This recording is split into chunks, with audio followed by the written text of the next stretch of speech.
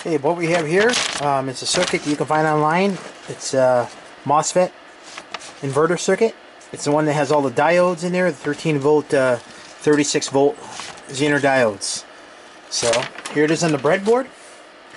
I have my oscilloscope hooked up both to uh, both the MOSFETs, and then I have a uh, amp meter here.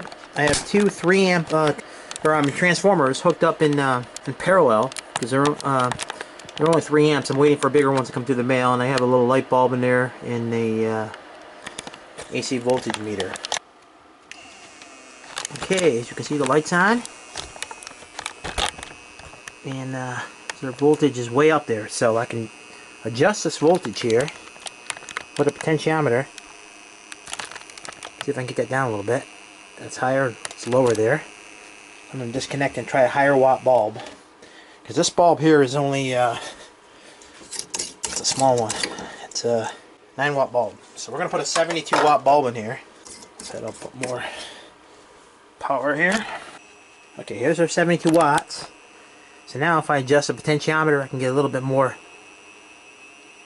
higher frequency here, but we're, we're holding right there. It's a, it's a good good voltage right there. But the only problem is, I mean, it's it's pulling like 10 amps here, and you can hear the sound of those uh, transformers. So I, I, need a bigger transformer for the circuit. Um, but here it is on the oscilloscope. And I'll adjust the potentiometer so you can see the frequency here. Slow it down a little bit to about 120, right there. Our voltage. Alright. Let's try another bulb. Let's try a 40 watt bulb in there. Okay, as you can see, 32 watt bulb.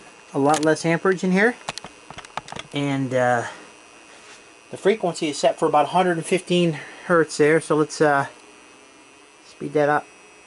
Let's slow it down and see if we can drop the voltage. It's dropping the voltage now. But that frequency is only 80.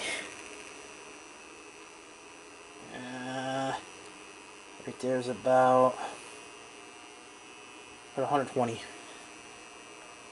The volts are way up there, so um, there's the amperage.